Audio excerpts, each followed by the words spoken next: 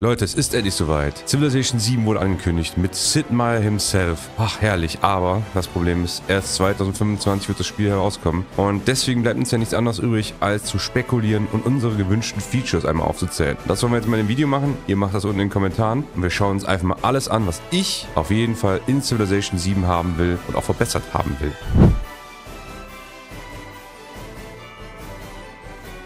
Fangen wir mal mit dem Militär an. Ich finde, eins der wichtigsten Punkte für mich persönlich ist das Militär. In Civilization 6 ist das Militär nicht zufriedenstellend für mich. Denn ich finde diese Anordnung von einzelnen Einheiten auf einem Hexagon einfach nicht gelungen. Das heißt, ihr könnt zwar natürlich mit Fernkampfeinheiten so einen Ring bilden, aber es ist sehr viel Klumpe. Gerade am Anfang hat man das auch sehr gut bei der KI gesehen. Die KI kam damit nicht klar, hat einfach Unmengen an Einheiten gebaut und sich damit konstant selber geblockt. Und ich finde dieses Phänomen des Selberblockens, das passiert immer wieder. Ich habe ja im Tutorial mal gesagt, gesagt, dass es bestimmte Timings gibt, die halt sehr starke Einheiten auch rausbringen und die eben auch einen guten Push ermöglichen. Aber das ist in meinen Augen auch das Einzige, was wirklich Spaß macht und sinnvoll ist. Wenn ich da komplett wahllos reingehe, ist es meistens ein unangenehmes, langfristiges Klumpen und das ist kein gutes Kampfsystem. Deswegen finde ich, dass Civilization 7 da ein bisschen was von Civilization 4 wieder reinbringen sollte, aber bitte nicht den extremen Stack-Spam, den man damals hatte. Der war nämlich auch nicht schön, sondern eher so in die Richtung von Millennia und Humankind. Und nein, ich meine nicht das Kampfsystem ganz über Humankind. Kann man auch machen, machen, wenn es gut gemacht ist. Aber mir geht es vor allen Dingen so wie bei Millennia darum, dass man eine gewisse Stackgröße hat. Und die sollte sich mit der Technologie auch weiter vergrößern. Das wäre genial. Das heißt, ihr könnt dann eben einen Krieger in die Frontline schicken, einen Bogenschützen in die Backline. Und das könnte dann so ein Autobattler werden, wie jetzt bei Millennia zum Beispiel. Oder eben ein ausgefeiltes Kampfsystem, wobei ich das nicht unbedingt sehr passend finden würde für Civilization. Damit könnte man meiner Meinung nach dieses Geklumpe geschickt umgehen, hätte eine interessante neue Mechanik, nämlich ich muss bestimmte Forschungen erforschen, die mir die Stackgröße erhöhen. Also gerade wenn ich militärisch gehen will, muss ich darauf gehen. Und wenn ich zum Beispiel kulturellen Sieg anstrebe, kann ich das dann nicht immer so leisten, dass ich viel mehr militärische Slots habe. So bin ich als jemand, der wirklich friedlich lebt, auch schwächer oder muss halt wissen, okay, ich muss jetzt meine Verteidigung erhöhen und muss jetzt auch auf so eine Technologie gehen. Das würde einen unglaublichen Mehrwert geben, in meinen Augen zumindest. Ja, denkt dran, das sind immer nur meine Meinungen. Äh, und es würde halt auch so kleine Armeen halt gestalten, die dieses Geklumpe umgehen und eine taktische Vielfalt geben.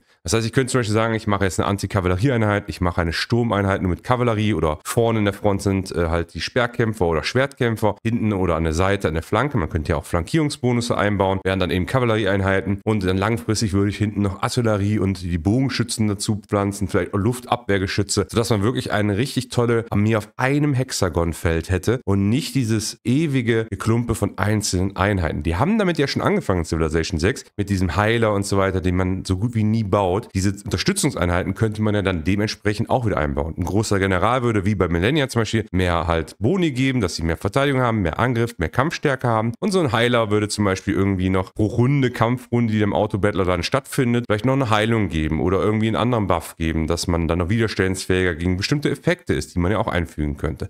Das fände ich halt sehr wichtig, weil Civilization 6 mir da, also mir persönlich dann nicht so viel geboten hat, dass ich sagte, ich will jedes Mal auf Domination spielen, also Herrschaft spielen, sondern war hauptsächlich immer wie die anderen Siegbedingungen da. Im Bereich der Spekulation gehe ich halt wirklich davon aus, dass das Militär in irgendeiner Form überarbeitet wird. Ob es jetzt so ist, wie ich es dir gerade vorgeschlagen habe, kann ich nicht sagen. Aber da eben einige Spiele herausgekommen sind, die so ein bisschen Civilization-artig waren, wie Humankind und Millennia eben, denke ich schon, dass sie auch planen, da etwas mit einzubauen, weil eben diese andere Herangehensweise schon ziemlich gut war. Also gerade wer auch Millennia jetzt nicht das Kampfbild, der Bildschirm, der ist natürlich hässlich, das wissen wir, aber die Idee dahinter kennt, weiß, dass es ein sehr gutes System ist, auch mit diesen Kartenspielen, wo man die Einheiten heilen kann. Also sehr viel mehr ja, Engagement hat wirklich mit dem Militär. Und ich glaube, dass das auch für die eine Priorität ist, das zu verbessern.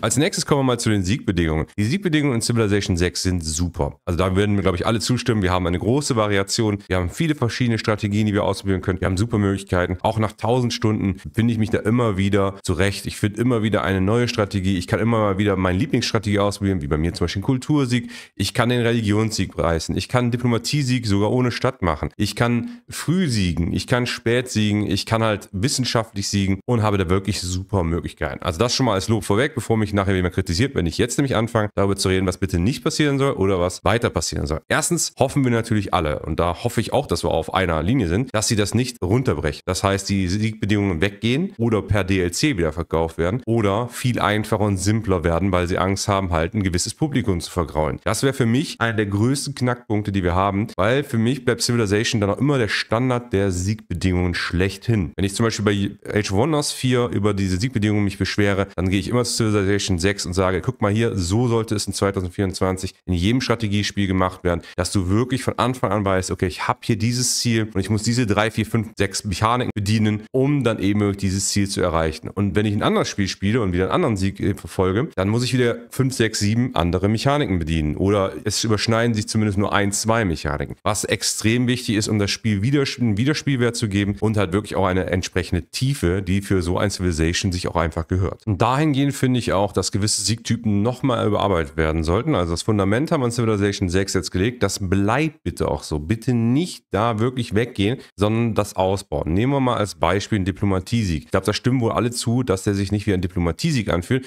und dass den wohl die wenigsten noch spielen. Mein cool ist natürlich, man kann es auch ohne Stadt gewinnen. Man kann auch eigentlich komplett mit einer Stadt das locker gewinnen. Das ist tatsächlich möglich. Dazu habe ich auch schon mal Videos gemacht oder gestreamt. Von daher guckt euch das gerne an, kommt auch gerne bei Twitch vorbei. Aber die Sache ist halt, es ist halt kein Diplomatiesieg in dem Sinne. Da steht zwar Diplomatiesieg, aber ich habe keinerlei Connections eigentlich mit meinen Freunden. Habe ich zum Beispiel drei verbündete KIs, die wirklich mit mir dick seit Jahrhunderten, Jahrtausenden in der Allianz sind, dann hat das keinerlei Auswirkungen auf meinen Diplomatiesieg. Habe ich über 15 von 20 Punkten, werden sie mir trotzdem in dem nächsten Kongress zwei Punkte abziehen, egal wie lange wir verbündet sind. Natürlich sollte es auch nicht so plain sein, dass ja, ich habe alle verbündet und jetzt gewinne ich automatisch. Das wäre ziemlich langweilig, wäre trotzdem noch besser in meinen Augen, weil es realistisch realistischer ist, weil die lieben mich ja. Warum sollten die mich nicht als Weltherrscher nehmen? Wir bräuchten wieder einen Weltkongress, der wie bei, ich glaube, Civilization 4, 5 weiß ich gar nicht mehr, ob es so gut wäre. Ich glaube, bei 4 vor allen Dingen. Auf jeden Fall da war, wo man den Leuten ein Vote kaufen konnte. Also ich zu einer KI gehen kann und der irgendwie ein Vote kaufen kann. Hey, stimmt für mich nächstes Mal. Oder hey, du bist mein Verbündeter, bitte wähl nicht dagegen mich, sei auf meiner Seite. Also man wirklich eine Interaktion hat und wirklich Diplomatie betreiben muss, um diesen Sieg voranzubringen. In meinen Augen könnte man da schön zwei Linien fahren. Erstmal die korrupte, lobbyistische, subtile Weise, indem man mit Spionen arbeitet und so ein richtig Schattenkabinett aufsetzt und halt die ganzen Leute manipuliert und dann zu seiner eigenen Meinung zieht mit viel Geld und fiesen Aktionen. Oder die andere Sache, wo man wirklich offen auf die Leute zugeht, denen in Notsituationen hilft, wie es ja hier mit diesen Hilfsanrufungen ist und so weiter und dann wirklich über offene, menschengerechte, menschenachtende Diplomatie dann diesen Sieg erringen. Ich weiß, das ist sehr weit gedacht, aber wir sind auch in 2024 und wir haben halt große Dinge, die auch in der echten Leben so stattfinden. Und ich finde, das sollte, wenn man es Diplomatie-Sieg nennt, auch zumindest ein einigermaßen darstellen, indem man wirklich mit den anderen Personen, also ob es jetzt KI ist oder menschliche Spieler,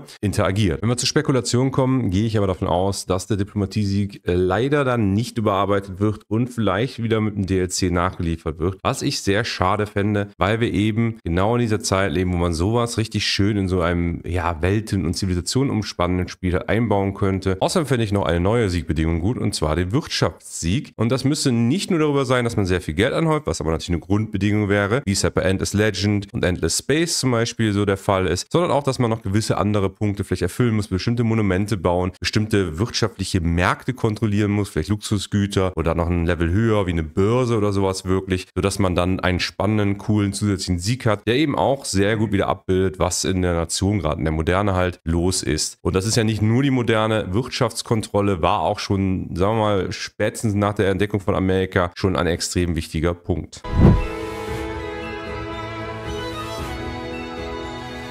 Was waren so die größten Dinge? An sich hat Civilization 6 ja super Sachen. Das heißt, es baut ja ein gigantisches Fundament auf. Nur nochmal für die ganzen Leute, die mir wieder das Weinen vorwerfen. Erstmal, es gehört nur mal einfach zu meinem Kanal, dass ich mich über sehr Dinge beschwere. Wenn ich mich immer nicht mehr darüber beschwere, dann werde ich wahrscheinlich von einer Firma gekauft worden sein. Dann freue ich mich, aber dann werdet ihr halt nichts mehr bekommen, außer das ist alles toll. Und so lange werde ich natürlich weiter weinen. Jetzt gehen wir mal zu den kleineren Dingen. Und zwar hatten wir in Civilization 5 und 4, vor allen Dingen 4 fällt mir da ein, einige Dinge, die wieder rein müssten. Nummer 1 wäre die Gesundheit. Das Gesundheitssystem mit Corona sollte eine der Haupttopics sein. Könnte sogar eine Siegbedingung in meinen Augen sein, aber zumindest irgendwie ein, ja, ein Instrument, eine Mechanik, die im Hintergrund läuft, wie der Klimawandel jetzt zum Beispiel. Wir haben massive Probleme. Wir werden auch weiterhin irgendwo Pandemien, Epidemien haben und Krankheiten werden uns immer beschäftigen. Und deswegen sollte zumindest ein Gesundheitssystem wie bei 4 wieder drin sein. Es ist extrem nervig. Ich fand das bei 4 auch schwer, aber es ist eben genau eine Mechanik, die man braucht, um dieses extreme äh, Stadt-Spammen, also ne, ihr wisst schon, tausende Städte hinpflastern, unbedingt mal un zu unterbinden. Denn ich will auch wieder mal mit kleinen Städten oder mit wenigen Städten großen Fortschritt sehen. Und in diesem Sinne, zu der Gesundheit, dann mit Krankenhäusern, gewissen Mechaniken dahinter und so weiter, sollte auch wieder das Kulturübernehmen von Städten drin sein.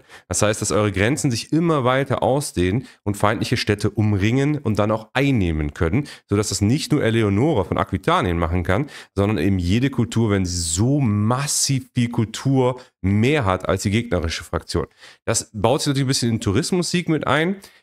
aber das müsste halt dann auf zwei verschiedenen Ebenen passieren, sodass einerseits die Kultur gegeneinander kämpft und andererseits man aber noch Tourismus noch generieren. Ob das so möglich ist, vielleicht ist auch nur mein Wunschdenken, aber es war schon ein Vier, wenn man da richtig gut drin war und komplette Karten übernehmen konnte mit der Kultur, die man gepusht hat von einer einzigen Stadt aus. Sehr, sehr cool. Das äh, wird das Spiel auf jeden Fall bereichern. Außerdem denke ich mal, da sind wir uns auch wieder fast alle einig, hoffe ich zumindest, dass die Erkundung mal ein bisschen mehr werden müsste. Am Anfang findet man halt Stammeshütten, die plündert man irgendwie aus und dann gibt es aber Bahncamps. Es wäre halt cool, wenn es da so ein paar Orte, es muss nicht viel sein, ein paar Orte geben würde, wo man mal hingehen könnte, wo man halt, ja, nicht bitte diese Text-Adventure, die klappen eigentlich nie, aber irgendwas anderes noch hat, als eben die Barbaren-Camps und diese Stammeshütten. Dann nehmen wir mal Beispiel Millennia, da gibt es ja diese Naturwunder, die man halt entdecken kann. Die gibt es ja auch bei Civilization 6, da geht man halt hin und dann hat man sie. Das wäre halt schön, wenn man das irgendwie noch ein bisschen ausbauen könnte. Konkrete Vorstellungen sind für mich da schwierig, aber ich denke, es würde Civilization auch für eine größere Fanbase helfen, wenn es ein bisschen dynamischer werden würde, auch am Anfang. Für mich ist das super, ich mag das sehr gerne, aber ich denke halt, dass so ein paar, es muss noch ein bisschen bisschen, mehr Locations da irgendwo einen großen Weg bringen würden,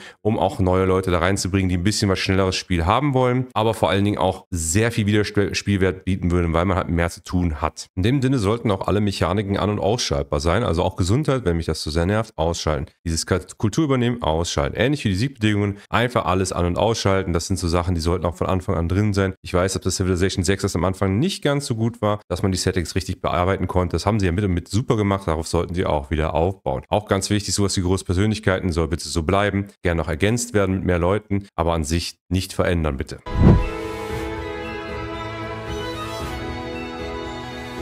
Zum Schluss noch das Streitthema Distrikte. Ich fand die Distrikte ja sehr gut. Warum sind sie sehr gut? Weil sie eben verschiedene Strategien forcieren. Das heißt, ich muss mich entscheiden, was baue ich jetzt, was brauche ich gerade, wo will ich hin, was sind meine Ziele. Das muss nicht in Distriktform sein. Man könnte es auch gerne wieder in so Talentboy bei einer Regierung machen, mehr Regierungen einfügen, die tiefer sind und eindeutigere Strategien forcieren, also hervorbringen oder eben etwas ähnliches wie die Distrikte machen. Aber man sollte nicht wieder komplett davon weggehen, weil ich fand persönlich bei Civilization 4 und 5, dass man, wenn man geschickt und gut war, eigentlich alles alles machen konnte. Und dadurch verliert in meinen Augen das Spiel an Wiederspielwert, weil ich eben immer alles mache und mich nicht krass spezialisieren kann und zum Beispiel sowas wie Religionssiege unter 100 Runden gewinnen kann, wie ich jetzt auch mal hochgeladen habe. Das ist dann nicht mehr möglich, weil ich dann ja irgendwie alles mache und alles gewinnen kann. Das, da verliert das Spiel in meinen Augen irgendwo an Reiz. Das wären eigentlich meine Sachen, die ich mir so wünsche. Das ist viel einfach, ja, bleib so wie du bist, aber ergänz dich halt wirklich von deiner Base aus immer weiter und sei nicht zu forsch mit deinen DLC, sage ich jetzt einfach mal. Plus Militär muss dringend geändert werden. Jetzt seid ihr dran. Was sagt ihr? Schreibt es bitte in die Kommentare. Ich will gerne mal wissen, was ihr davon haltet, was ihr selber sagt, was hinein muss, was verändert werden muss, was gleich bleiben soll, was ich vielleicht auch einfach vergessen habe. Oder ob ihr sagt, ja, hm, ich stimme dir da nur halb zu oder ich stimme dir da nicht zu, aber bitte differenziert, sodass wir auch wirklich miteinander diskutieren diskutieren können. Und wenn es euch gefallen hat, lasst ein Abo, ein Like da und kommt gerne mal bei Twitch vorbei oder werdet Mitglied auf dem Kanal. Bis denne.